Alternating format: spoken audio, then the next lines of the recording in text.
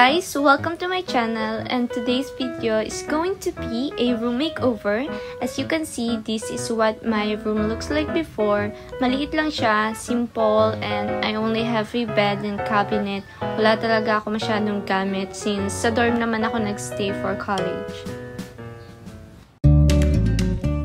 Okay, so ito yung plano guys. Huwag niyo akong i-judge sa pang kinder na level ng pagdodrawing ko. I just want to visualize ko ano yung mangyayari sa room. So initially, I planned na gawing study room na lang tong kwarto dahil nahihirapan akong mag-focus sa online classes. O yan o, may pa-plans pa ako dyan. And then my parents told me na paggawa ng kama sa itaas na parang loft bed. So go lang. And then yan, may pa-drawing-drawing pa ako ng study table kasi nga nakakatulog talaga ako pag nag-online class ako sa may kama. Ito na yung part ng paggagawa ng loft bed my dad have a friend na siyang gumagawa talaga dito sa bahay ng kung ano-ano. And yun, sasabihin lang namin kung ano yung ipapagawa and he will do the prep na. Actually, hindi ko na masyado nasabaybayan yung paggagawa dito kasi may class ako that time. And that's my dad. And nandiyan din yung pangit kong kapatid. And it took two days bago matapos yung kama. And yun at, yan na yung finished product ko.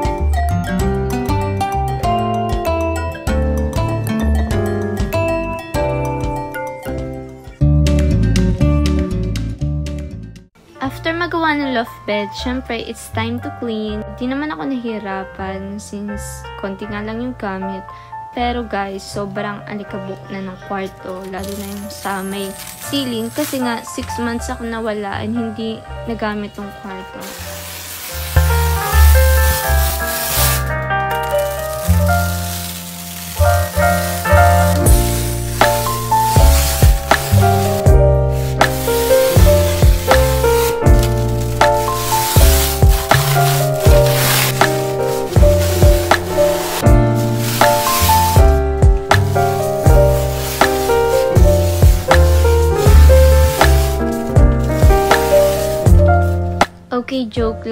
Nahirapan pala ako sa paglilinis ng wallpaper kasi nga hindi ko natanggal agad yung wallpaper before gawin yung lofted. So, medyo nahirapan ako doon. And then, sa cabinet, medyo marami yung tinanggal ko kaya humingi na din ako ng tulong sa mga kapatid ko. Okay,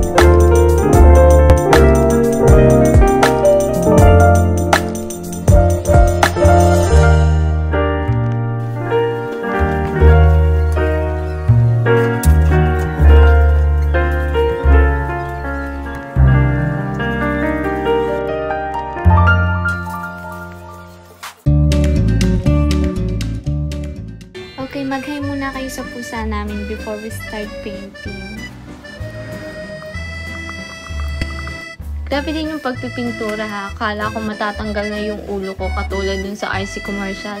Pati yung balikat ko sobrang sakit din. Pero chinek ko naman kanina at nakakabit pa rin sila.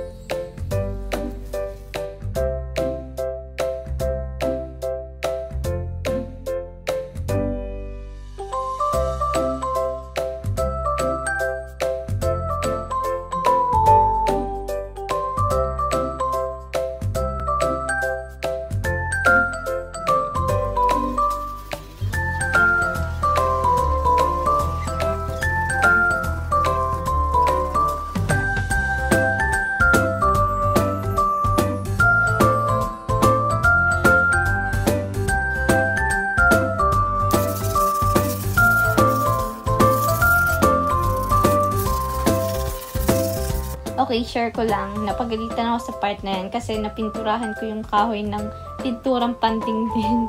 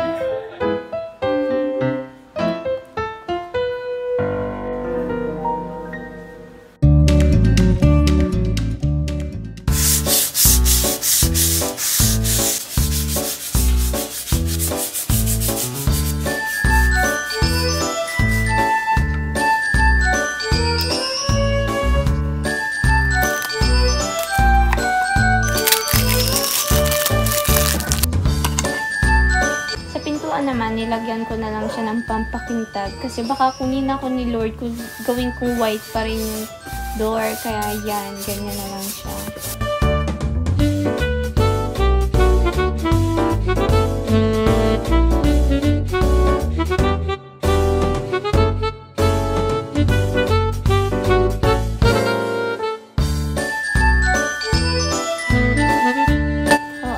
Tapos, nagpintura na rin ako ng kung ano-ano habang iniintay ko pang matuyo yung iba ko pang pininturahan.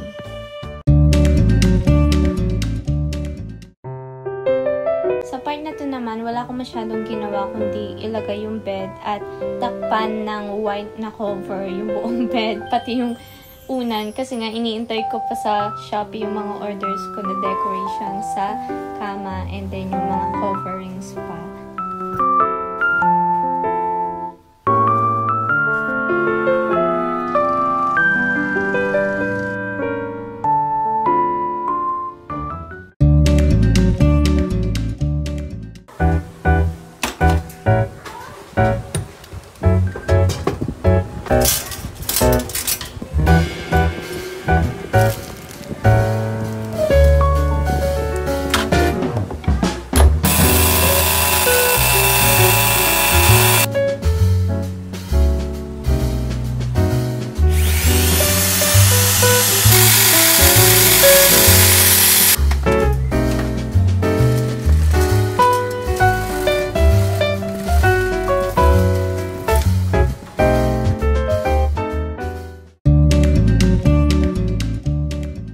Okay guys, ito talaga yung pinaka-favorite kong part ng video na to. Since ang plan ko nga nung una ay gawing study room na lang yung kwarto, dahil gusto ko talaga magkaroon ng study area para makapag-focus sa online class.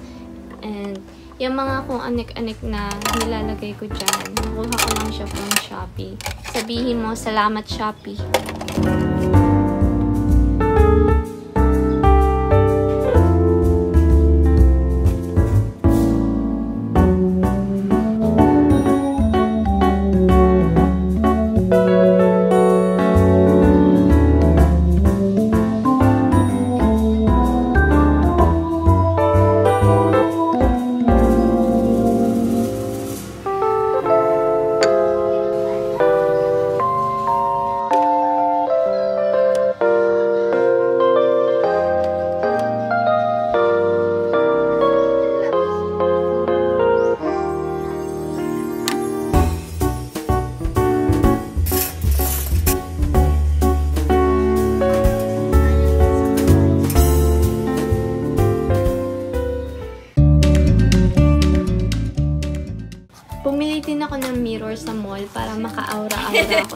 Kwarto ko.